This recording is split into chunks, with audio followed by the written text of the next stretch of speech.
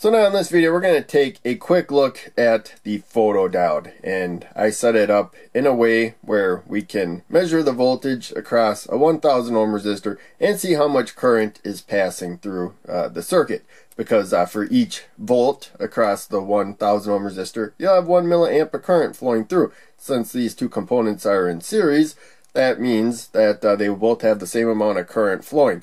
The uh, resistor though will limit the maximum amount of current that can flow through the circuit um, based on the supply voltage. But otherwise, the photodiode sets the current. So as long as we stay below the uh, maximum, then the photodiode will be what sets the current. But we can just do a quick demonstration right here. I have uh, 5 volts, and uh, the photodiode has to be reverse bias to do this. So long lead the anode towards the positive side of the power supply, short lead the cathode to the or long lead the anode to the negative side of the power supply. I think I said positive. Short lead the cathode to the positive supply uh, up there. And uh, order here doesn't uh, matter, but uh, the diode has to be inserted in the right way. So we have 5 volts. So of course the uh, 1000 ohm resistor is going to limit us to about 5 milliamps of current. That's the uh, the main thing. I'm going to pull this away we can go up, uh, I can go up to 15 uh, really quick. And uh, we'll go down to uh, 12 right there. And of course, I can get much closer to uh, 12 milliamps of current because we got more supply voltage. Now, um, the uh, lamp is not able to get us enough current. So I got the flashlight there. I'm going to hold the flashlight steady. And you can see when I get down to 5 volts, I went a little too low, current stayed basically the same. So let's uh, yeah let's get it to two, and then now we can go up to 15 volts even right there. You can see it stayed two milliamps of current even though we got three times the voltage. So since I have a 1000 ohm resistor right there, and that's uh, one reason why to uh, limit our current, in this case to 15 milliamps of current, which um, would probably be safe. Let's see if I can actually do that uh, right there get to a 15, yeah, you know, close 15 milliamps of current right there. So that resistor is going to uh, protect uh, everything from too much current. So hopefully if the uh, photodiode gets too hot or something, it will just not conduct as well too. Um, hopefully it has something uh, that will help protect it, but I don't know for sure. So now a lot of times the power supply can tell us everything uh, we need to know or whatever, but uh, multimeter is better. So we're going to focus on voltage right now because as I said before, for each volt that's across a 1000 ohm resistor in this particular circuit, we'll know that we have about 1 milliamp of current flowing through it. And as long as we don't uh, get close to the limits of what the supply voltage is, that current will be set by the photodiode in its reverse bias. You got to make sure you put it in reverse bias. And um, so I'm going to set it to measure uh, V for voltage. This particular meter I can measure AC as well, but um, as long as that says DC, that's all I got to do. Red probe, we don't move for anything other than high current right there. So other meters um, might be a little bit different, but it should be pretty uh, similar to this if it's an auto-ranging meter. If it has uh, numbers, set it to a number higher than you expect to measure. So that's especially important while measuring current, but even with voltage, set it to a higher number. So um, I got these alligator clips. So this is just a male-to-male -male, uh, jumper right there and I squeezed the metal part of the alligator clip onto the other side there. And it makes a pretty good uh, connection. So I did a DIY crimp just with a, a, pair of pliers. I don't know if there's a crimper that would make a good crimp uh, with this particular setup. But in case we're coming to where the uh, resistor is. And uh, so I accidentally um, for some reason popped out the photodiode and uh, and then stuck it back in which would be forward uh, bias which you, that's how you would wire up an LED. That's probably why I did it instinctively. And there you can see current's uh, way low right there, even though there's quite a bit of light uh, flowing on here. And uh, took me a while to realize uh, what I did wrong.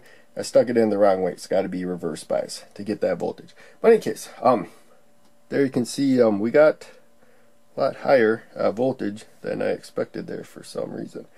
And um, there we go. That's uh, what we should have. So we got half of a volt. Probably had like connection problems there. About half of a volt at this light level right there. So I can dim the lamp. It will go down and then uh, raise the lamp. But uh, yeah, we got that 0.552 and that's with 5 volts at the supply. And uh, I'll move this, hopefully, okay, uh, held steady. So when you shuffle things around, it affects the connection. And again, if I go to 15 volts, should be about the same. Uh, you know, I think uh, because it warmed up a little bit or something, there may be some other factors. Changed slightly, but for the most part, it's uh, based on the amount of light that is uh, falling on it. There you can see we can get it to go down. And uh, I'll even, uh, you know, we got three times the voltage and uh, the amount of current went up like 20% or whatever. So there, I dimmed the lamp and I think this will be even steadier, 0.127 volts. So that's about how much current's flowing, 0.127 milliamps of current approximately. That was at uh, 15 volts. I'll try to keep both these in view at the same time. And I drop it to 5 volts. You know, practically the same. Change slightly, but uh, the vast majority of how much current is flowing right now is due to how much light is falling on the photodiode. So now, we're actually going to measure current. And again, this is all uh, basic stuff, but this is good practice. So, uh, to measure current, first off, we don't want anything uh, connected while we change the setting on the meter. So we got that taken care of. And uh, before we change the setting, it's always safe to measure voltage. So, um, you know, unless you try to measure like too high of a voltage or something. Uh, but for the most part, having your meter set to measure voltage, uh, you don't have to worry. Uh, when it comes to current, you could blow a fuse in the meter. If uh, you try to measure a voltage that's not limited, I have the power supply limited, uh, but if you pass more current through the meter than what its setting is for, you'll probably blow a fuse inside. So we're going to measure milliamps of current. And uh, so now we set it there. Now we're going to keep our focus on current uh, measuring right here. As soon as we're done measuring current, we want to get it off and measuring current as soon as possible. So again, I don't have to move the red probe for anything other than high current right there. We already opened up the uh, circuit. Now we can make our uh, connections. So again, I'm going to clip these to the probes and uh, the current we're going to measure, we have to bridge this gap right there. So again, we don't want to go to the supply rail at all in this particular case. It's better to go in between two components. That's the best way to make sure we never uh, put the full supply voltage across the meter while it is set to measure current. If there's a switch along the way, um, even if the switch is to a supply rail, um, then instead of opening up the circuit, taking apart uh, components, you can just uh, leave the switch off and then go to both ends of the switch and that will bridge the gap, you know. Even though the switch is off, um, the uh, current will go around the switch as if the switch was on through the meter. But yeah, there you can see we got about 0.19 milliamps of current right there. And I believe we, you know, light might have changed a little bit. I might have shifted how uh, the light was falling on the component. But we should have somewhere about uh, 0.2 volts across that 1K resistor. So that's with 5 volts at the supply at this light level. And I go to 15 volts. And, you know, it holds really steady right there. Changes, looks like it changed about 10% or something. But we got three times, 300 uh, percent more voltage right now for this circuit. It's that light level that's at it. And I'll leave the voltage the same. Put the lamp at the uh, brightest setting and it looks like we got about uh, uh, 1 milliamp of current uh, flow. So maybe we got about a, a volt across the 1K uh, resistor right now. Maybe it's pointing at the light a little better than it was uh, before. But I go to 5 uh, volts, and there you can see it's still about 1 milliamp of current. So let's test that out again.